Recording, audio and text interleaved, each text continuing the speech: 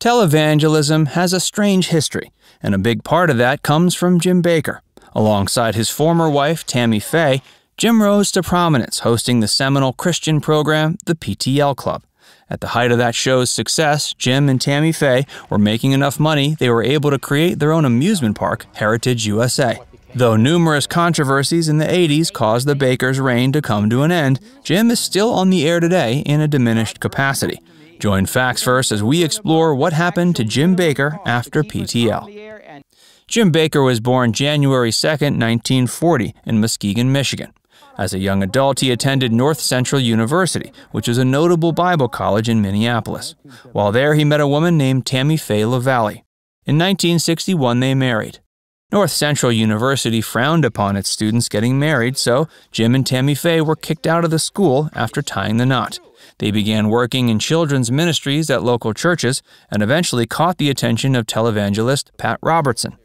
Robertson immediately took a liking to Jim and Tammy Faye. He hired them to begin working for his channel, the Christian Broadcasting Network, or CBN. Pat hired Jim and Tammy Faye in 1966.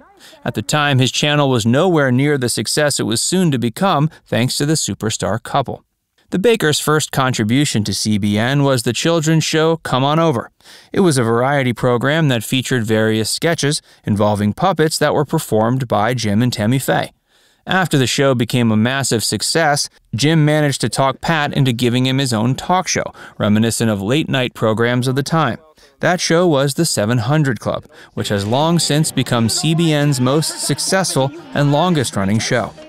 Jim and Tammy Faye had turned CBN into a major success for Pat Robertson, but the couple wanted something of their own. In 1974, the couple branched off from CBN to develop the PTL satellite network. With the help of local affiliates, this station began broadcasting the Bakker's own show, the PTL Club, in 1976.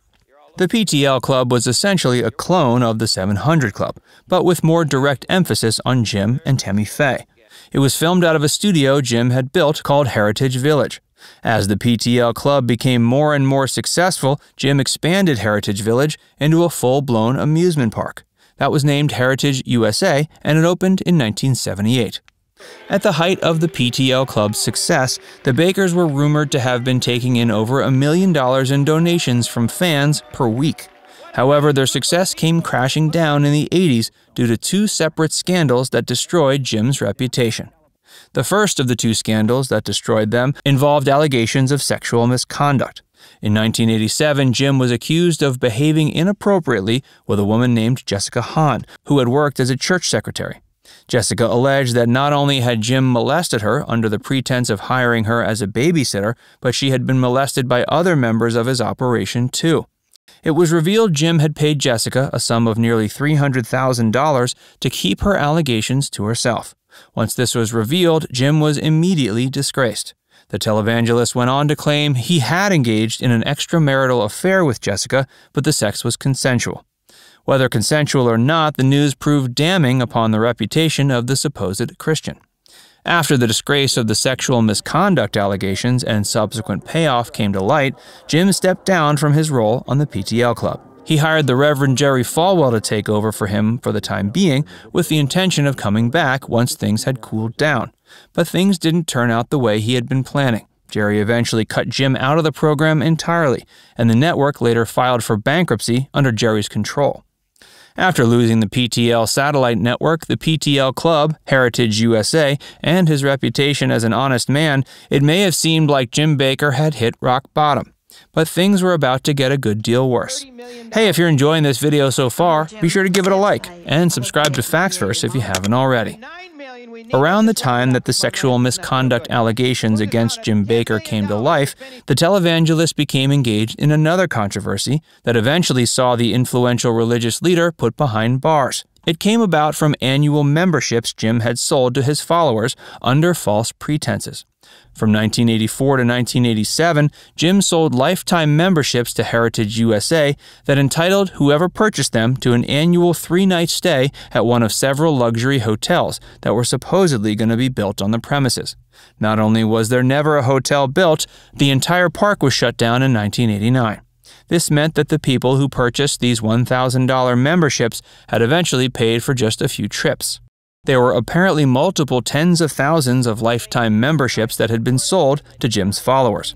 In 1988, Jim was charged and found guilty on 24 counts related to fraud and conspiracy, and was subsequently sentenced to 45 years in prison and a $500,000 fine. But Jim appealed. He was able to get the case brought before the U.S. Court of Appeals for the Fourth Circuit. Though the court upheld the verdict that Jim had been guilty of his crimes, they took issue with the judge's sentencing. The judge had made a remark regarding his own personal faith, which gave the courts reason to believe the judge may have imposed excessive punishment upon Jim vindictively. As a result of the appeal, Jim's sentence was reduced from 45 years to 8 years. He served only five years of the sentence before being let out on parole thanks to a heartfelt letter Jim's son had written to the parole board. He was released in 1994 and promised he would never return to his fraudulent ways. However, he still owed the IRS around $6 million. Jim and Tammy had two children during their marriage daughter Tammy Sue and son Jamie. Jamie was the one who wrote the letter to the parole board. This was despite the fact his parents had acrimoniously split in 1992 in the wake of the misconduct allegations. In 1998, Jim remarried to a woman named Lori Beth Graham. Lori was a former televangelist herself, and the two were married within 50 days of meeting. Since becoming married, the couple has adopted five children. With the help of Lori, Jim started a new show in 2003. Leaving behind his old brand, the new show was simply called The Jim Bakker Show. Along with his new show, Jim seems to have developed a new interpretation of theology. His new preaching comes with a much heavier emphasis on the apocalypse. Instead of simple donations and memberships, his new show continues to profit by selling its audience survivalist supplies. These supplies are meant to come in handy during the apocalypse, which Jim claims is liable to occur at any moment. The Jim Bakker Show is still on the air, and Jim recently found himself entangled in a completely new web of controversy amidst the COVID 19 pandemic. Jim had been selling colloidal silver supplements on his show for some time. When COVID 19 began taking up airtime in early 2020, he jumped at the opportunity to claim his colloidal silver supplements could be used to cure the virus. In March of 2020, he was ordered by the Attorney General of New York to stop saying his supplements could cure COVID, and he was also sent a letter by the Food and Drug Administration.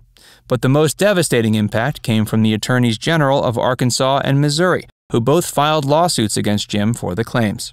Credit card companies began prohibiting him from receiving transactions, and numerous channels began making the decision to stop airing The Jim Bakker Show.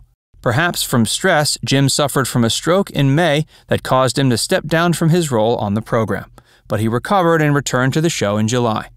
The lawsuits came to their conclusion in June. As a result, Jim was prohibited from making any more claims about his colloidal silver supplements being able to cure any disease or condition. And the televangelist was forced to pay out settlements totaling $157,000 to anyone who had purchased the supplements in question during the time Jim had been making the false claims. Now it's time to hear from you. Comment down below to share if you think Jim deserves to still be on TV after all he's done. And be sure to give this video a like and subscribe to FactsVerse if you haven't already. Click the bell icon to stay updated on all our latest content.